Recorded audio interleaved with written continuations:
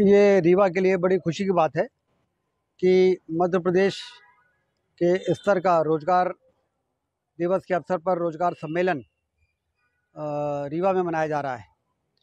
और मुख्यमंत्री आदरणीय शिवराज सिंह चौहान जी पधार रहे हैं, जिसमें बहुत व्यापक स्तर पर पूरे मध्य प्रदेश और हमारे रीवा ज़िले में जो रोज़गार मूलक योजनाएँ हैं, जो स्वरोजगार के कार्यक्रम हैं, चाहे वो केंद्र सरकार के हों, चाहे राज्य सरकार के हों। और जो रोज़गार मेले के द्वारा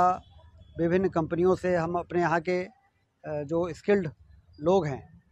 उनको रोज़गार उपलब्ध कराने के जो कार्यक्रम रहे होंगे, उन सब के माध्यम से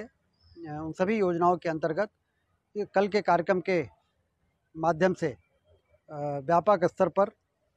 उनको ऋण वितरण का काम, उनको रोज़गार के अपॉइंटमेंट लेटर देने का काम व्यापक स्तर पर कल रीवा में संपन्न होगा। मैं सभी को शुभकामनाएँ देता हूँ और एक अपील ये भी करता हूँ कि हमारे रीवा के जितने एंटरप्रेन्योर्स हैं, चाहे वो इंडस्ट्रियलिस्ट हों, चाहे वो हॉस्पिटल चलाने वाले लोग हों, चाहे वो होटल चलाने वाले लोग हों या अन्य व्यवसाय से जुड़े लोग हों, जिस तरह से रीवा में व्यापारिक गतिविधियाँ बढ़ रही हैं तो मैन पावर की आवश्यकता भी बढ़ रही है। ऐसे समय में मेरा उनसे भी निवेदन है कि वो अपनी रिक्वायरमेंट ज़िला कलेक्टर को उपलब्ध कराएँ कि हमारे यहाँ इस इस प्रकार के स्किल्ड मैन पावर की ज़रूरत है, जिससे उस प्रकार की स्किलिंग हमारे यहाँ जो एक बहुत अच्छा आईटीआई बन रहा है, जिसमें कई नए कोर्सेस हम शुरू करने जा रहे हैं। तो हम अपने बच्चों को उस प्रकार की जो स्किल है, उससे उनको ट्रेनिंग दे के और हमारे रीवा के व्यापारियों को उस प्रकार का मैन पावर हम उपलब्ध करा सकते हैं। तो इसलिए